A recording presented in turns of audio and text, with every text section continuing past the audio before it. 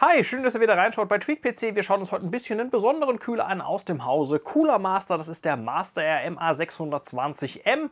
Der ist angelehnt an den Threadripper Kühler, den Cooler Master bereits auf den Markt hat. Jetzt gibt es den Kühler eben für die Mainstream-Sockel AM4 und LGR 1151. Hier mal als Beispiel genannt.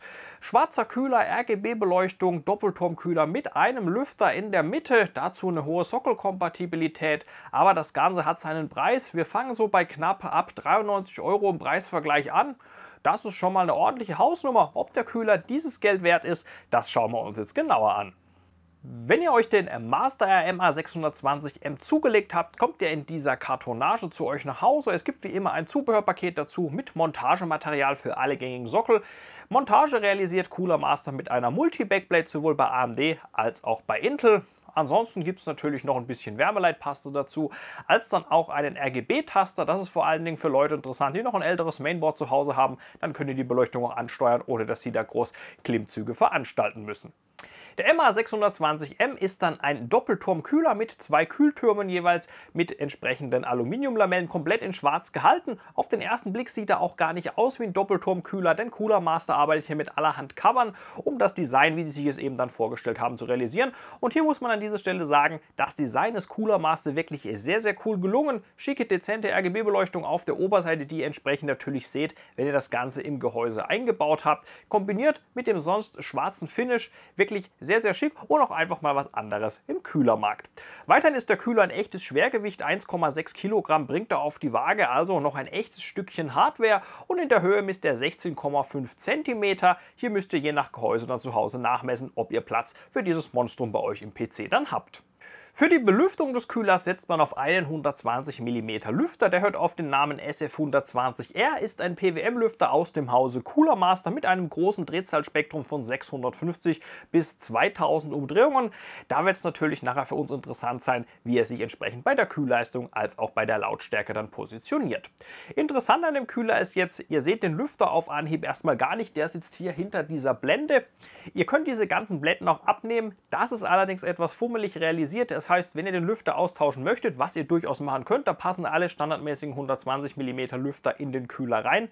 Dann müsst ihr so 10 bis 15 Minuten einplanen. Ihr müsst nämlich diese ganzen Cover runternehmen. Das ist zum Teil auch noch geschraubt. Ich blende euch hier gerade mal eine Explosionszeichnung ein, wie viele Teile das schlussendlich dann sind, wenn ihr das auseinandergebaut habt. Und wenn ihr das alles gemacht habt, kommt ihr entsprechend dann an den Lüfter dran und könnt ihn dann, wie gesagt, austauschen. Ist aber auch, wie angesprochen, relativ fummelig gestaltet.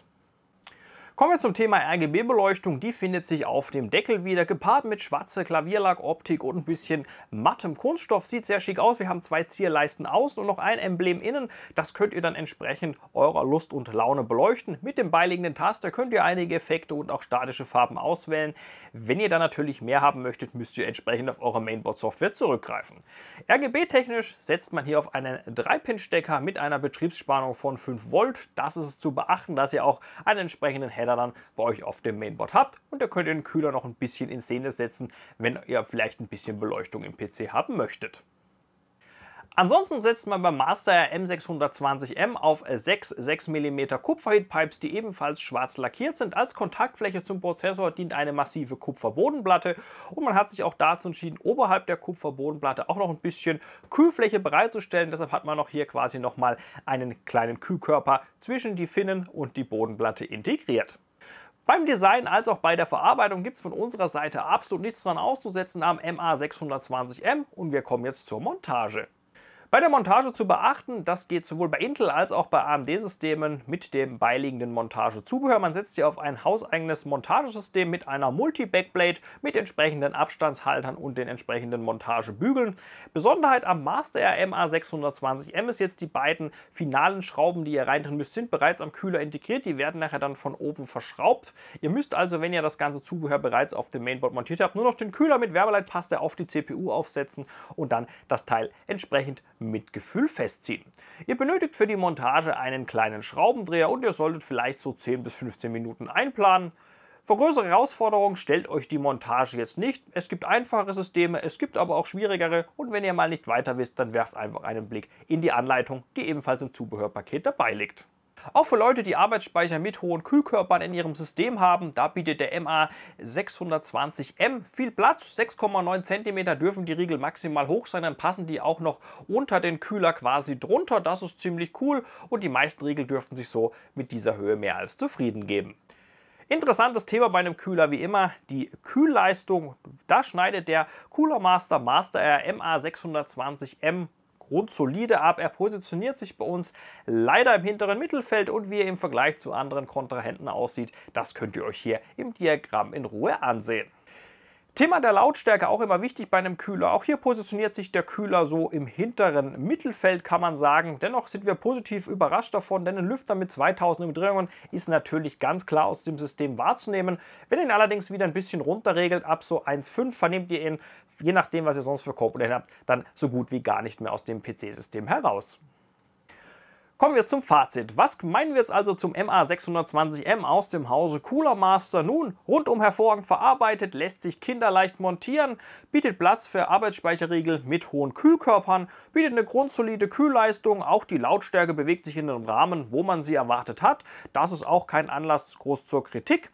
Daneben, was besonders erwähnenswert ist, unserer Meinung nach, ist das schicke und coole Design. Da hat Cooler Master wirklich einen ganz tollen Job gemacht in unseren Augen. Schwarz das Ganze, mit vielen Covern gearbeitet eingearbeitet in der dezenten RGB-Beleuchtung. Der Lüfter ist auf Anhieb gar nicht ersichtlich, wo der denn jetzt eigentlich ist. Das ist einfach mal was anderes und sieht je nachdem, was für ein PC ihr zu Hause habt, sicher sehr, sehr schick aus.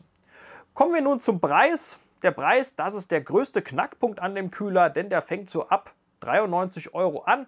Das ist eine ganze Stange Geld für so einen Kühler und für die Kühlleistung, die er bietet, als auch in Kombination mit entsprechend der Lautstärke, muss man leider sagen, dass der Kühler dann hier viel zu teuer angeboten wird. Das ist auch der Hauptkritikpunkt von unserer Seite. Am Kühler selbst können wir eigentlich groß nichts Negatives feststellen. Eine gute grundsolide Leistung, tolle Optik wie angesprochen und hohe Kompatibilität. Nur der Preis, ja, Heißt jetzt nicht, dass ihr euch den Kühler nicht zulegen könnt. Allerdings, wenn es euch jetzt wirklich um Leistung geht und nicht wirklich ums Design, dann seid ihr vielleicht mit einem anderen Kühler, auch aus dem Hause Cooler Master, besser aufgehoben. Wie seht ihr das? Ist der zu teuer? Würdet ihr euch den kaufen? Findet ihr das Design schick? Oder was habt ihr sonst noch auf dem Herzen? Dann nutzt da gerne die Kommentarfunktion dann würde ich sagen, das wäre es soweit von unserer Seite. Und wie immer, wenn ihr unsere Arbeit unterstützen möchtet, freuen wir uns sehr über ein Abo, einen Daumen nach oben und natürlich, wenn ihr die Glocke aktiviert, dann verpasst ihr keines mehr unserer Testvideos. Ich bin der Jan, vielen Dank wieder, dass ihr bei uns reingeschaut habt und bis zum nächsten Test bei SweetPC.